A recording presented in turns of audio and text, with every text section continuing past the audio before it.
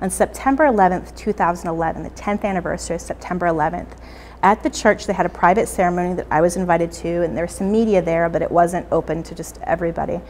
Um, and at that event, they were burning a Quran, and they were also burning a US flag. And they put them into the same fire pit and set them on fire at the same time. And they um, let lots of press releases, people know that they were going to do these two things. And outside, there was a, there's a four um, stop sign corner by the church. Outside, there were counter picketers. So I went to interview the counter picketers. And on one side of the street is a very brave group of Muslim women, clearly identified because of their clothing as Muslim.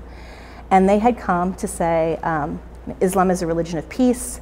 Um, you know, the attacks of September 11th don't represent our religion, and you should be respectful of the Quran. And they were passive uh, protesters, they weren't creating a ruckus. They were staying on one corner. On another corner were these college students, kind of hip young men, um, saying it's okay to be gay, and we shouldn't make such a fuss about people being gay, and we should accept gay people.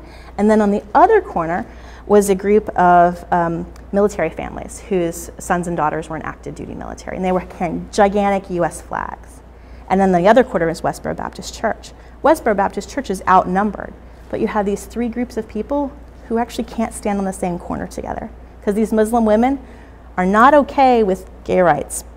And these, generally speaking, these folks who are um, supportive of the US military, certainly not everybody, but these people in particular were not supportive of gay rights or of Muslims. In fact, one of the fathers said it's perfectly acceptable to set the Quran on fire, you know, but it's blasphemy to burn the US flag.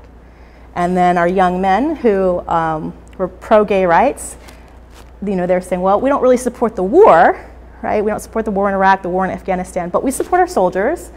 Um, and we support you know, the right of people to be Muslim, but it's not like Muslims in general are going to be very supportive of gay rights.